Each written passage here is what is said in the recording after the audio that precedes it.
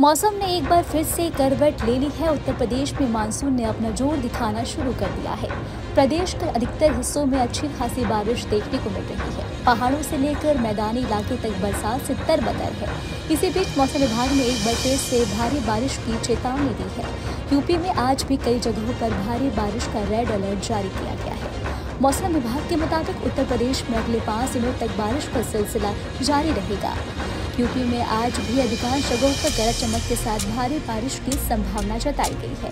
राजधानी लखनऊ समेत आगरा, गोरखपुर, अयोध्या में तमाम जनपदों में सुबह से घने बादल छाए हुए हैं। वहीं आपको बता दें, यूपी के साठ जिलों में भारी बारिश का रेड अलर्ट इस बार मई, जून के महीने में जैसी भीषण गर्मी देखने को मिल रही है। इस बार उसकी कमी मानसून पूरी कर देगा। यूपी में आज मथुरा हाथरस, अलीगढ़, एटा, नोएडा, हापुड़, गाजियाबाद, मेरठ काशीराम नगर मुजफ्फरपुर, सरहानपुर, बागपत, इलाहाबाद, वाराणसी, गाजीपुर, चंडीगढ़, मिर्जापुर, सोनभद्र में कई जगहों पर भारी बारिश का अलर्ट जारी किया गया है।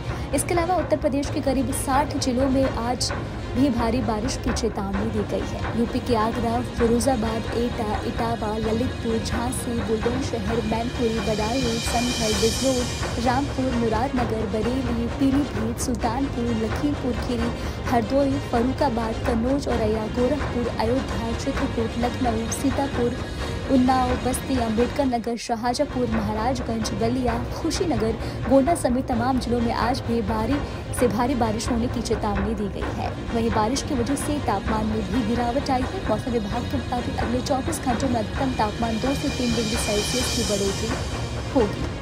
उसके बाद दो से तीन डिग्री में गिरावट देखने को मिलेगी वही अगर हम बात करें दिल्ली एनसीआर की तो दिल्ली एनसीआर में उमस भरी गर्मी देखने को मिल रही है। जुलाई महीने में ही शुरुआत में उमस भरी गर्मी हुई है।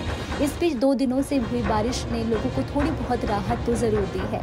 इस बीच अब दिल्ली एनसीआर के लोगों को तापमान और उमस से भरी गर्मी से राहत मिलने जा रही है। दरअसल शनिवार को एक बार फिर बारिश होने की संभावना जताई जा रही है। तो वही मौसम विभाग ने कहा है कि दिल्ली में शुक्रवार को आज हल्की बारिश होने की संभावना है। हालाँकि मौसम पूरी तरह से शुष्क नहीं होगा। इस दौरान दिल्ली में घने बादल छाए रहेंगे और दिन और रात के तापमान में मामूली से अंतर देखने को मिलेगा। तो वही छह जुलाई को भी हल्की फुल्की बारिश होने की संभावना जताई जा रही है। बिहार के सोलह जिलों में बारिश का अलर्ट जारी किया गया है। बिहार के अलग अलग जिलों में मानसून अच्छा खासा एक्टिव हो गया है। दो तीन दिनों से राज्य के अलग अलग हिस्सों में खूब बारिश देखने को मिल रही है। कहीं हल्की तो कहीं मध्यम स्तर की बारिश देखने को मिल रही है। वही अगर हम बात करें यूपी की तो उत्तर प्रदेश में मानसून की एंट्री हो चुकी है। इस कारण यूपी की हर दिन बारिश देखने को मिल रहा है और मौसम काफ़ी सुहाना बना हुआ है। पश्चिम यूपी हो या फिर पूर्वी यूपी दोनों ही इलाकों में खूब बारिश देखने को मिल रही है। आपको बता दें कि मौसम विभाग की माने तो अगले दो से तीन दिनों में यूपी में खूब बारिश होने वाली है।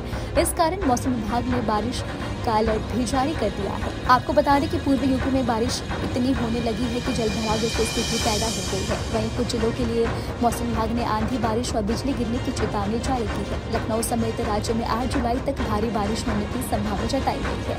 इस बीच बाढ़ को लेकर प्रदेश में सभी अस्पतालों में अलर्ट जारी किया गया है। साथ ही राहत शिविरों में डॉक्टरों की ड्यूटी भी लगाने को निर्देश दिए गए हैं। आपको हमारा वीडियो कैसा लगा, हमें कमेंट बॉक्स ज़रूर बताएँ। देश में के तमाम और उत्तराखंड की छोटी बड़ी खबरों के लिए न्यूज़ के चैनल को सब्सक्राइब करना बिल्कुल भी ना भूलें।